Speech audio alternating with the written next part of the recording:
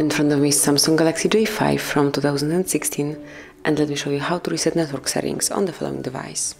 So at first, just open the list of all apps, then find and select the settings. Now locate and open and open General Management and click on Reset. And here you will notice Reset Network Settings tab, click on it and if you truly want to perform this operation and reset all settings for your networks, including those for Wi-Fi, mobile data and Bluetooth, just tap on Reset Settings. And then confirm that you would like to do it. And that's it, as you can see it has been done. Thanks for watching, please subscribe our channel and leave the thumbs up.